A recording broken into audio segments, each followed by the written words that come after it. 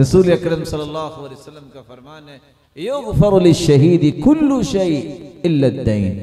شہادت کتنا بڑا درجہ ہے، سارے گناہ معاف ہو جاتے ہیں شہادت سے، لیکن قرض معاف نہیں ہوتا۔ منگنی کے بعد نکاح ہوتا ہے۔ نکاح میں گنتی سے تین چیزیں ہیں۔ ایک ولی ہوتا ہے، جس کی بیٹی ہے۔ دو گواہ ہوتے ہیں۔ عادل گواہ اور ساتھ مہر رکھا جاتا ہے۔ لا نکاح الا بولی و شاہدی عدل. کوئی نکاح نہیں ہوتا جو ولی کی اجازت کے بغیر ہو، دو عادل گواہ نہ ہو وہ نکاح نہیں ہے۔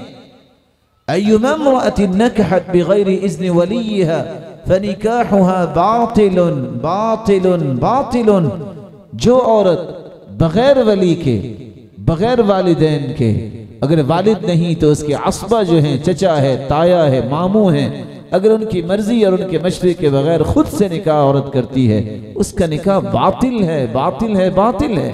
اور دوسری روایت کے الفاظ ہیں۔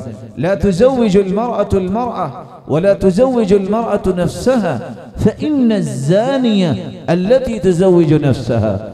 کوئی عورت کسی عورت کا نکاح نہیں کر سکتی، نہ کوئی عورت اپنا ہی نکاح کروا سکتی ہے، جو ایسا کرتی ہے، شریعت نے اسے زانیہ کنسیڈر کیا۔ ہے نکاح اس میں مہر بھی رکھا جاتا ہے۔ آپ نے سنا ہوگا، جب بھی نکاح کا وقت آتا ہے تو پوچھا جاتا ہے جی مہر کتنا ہے؟ کہتے ہیں، جتنا مرضی آپ رکھ دیں۔ ارے، اللہ کے پیارے بندے، رکھنا تو آپ نے چلو جی شری مہر باندھے شری مہر کتنا ہوتا ہے؟ وَعَلَى الْمُوسِي قَدَرُهُ وَعَلَى الْمُقْتِرِ قَدَرُهُ جس طرح خرچ دینے میں اللہ نے قانون دیا اپنی استطاعت کے مطابق خرچ کرو۔ اسی طرح مہر اپنی استطاعت کے مطابق دو۔ وَآتَيْتُمْ إِحْدَاهُنَّ قِنْطَارًا۔ اگر تم قنطار دینا چاہتے ہو، ڈیڑھ سو کلو سونا ہو، تو قنطار بنتا ہے۔ آپ قنطار دے دو اگر طاقت ہے۔